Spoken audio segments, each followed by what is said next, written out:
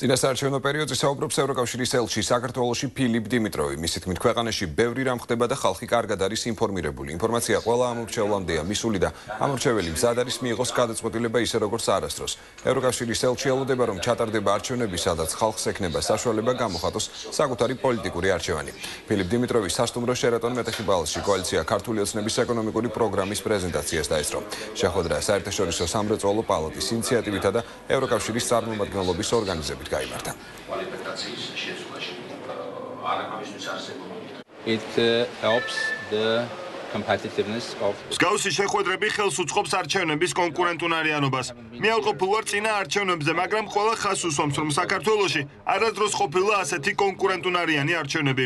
ამდენი საჯარო ღონისძიებით ქვეყნის სხვადასხვა ნაწილში, რომელიც აღწევს მოსახლეობის ყველა სეგმენტს. ხალხი არადროს ყოფილა ასეთი ინფორმირებული სხვადასხვა პოლიტიკურ იდეასა და პოზიციის შესახებ. რაც ვფიქრობ, რომ ძალიან მნიშვნელოვანია იმისათვის, რომ ხალხმა გააკეთოს თავისუფალი პოლიტიკური არჩევანი.